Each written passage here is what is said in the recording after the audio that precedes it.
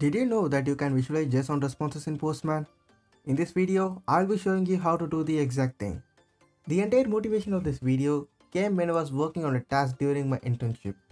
So I was trying to use Elasticsearch and filter the hits I get using Lucene query.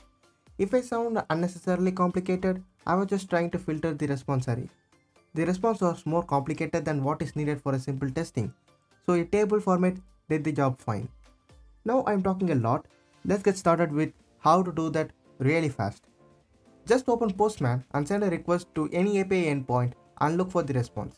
Now you get the expected response, right? Now open the test tab. Here is where all the magic happens. Now we need a snippet of this code. Check out the link to the article regarding the same in the description. Here PM stands for Postman and then we are calling a method visualizer.set with two parameters. One is a template and another one is a response. We can access the response by using pm.response.json. We can access the variable response in the variable template. The template uses the syntax of handlebar which is a simple templating language.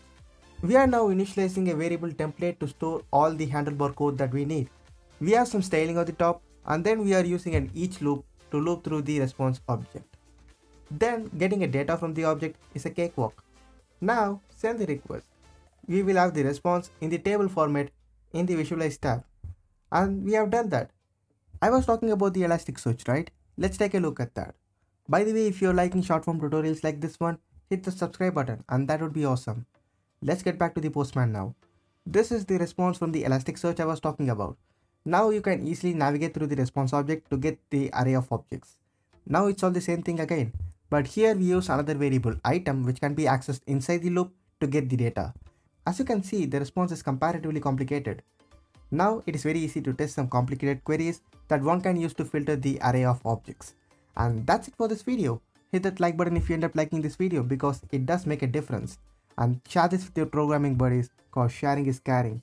And thanks for watching and I will see you guys in the next video.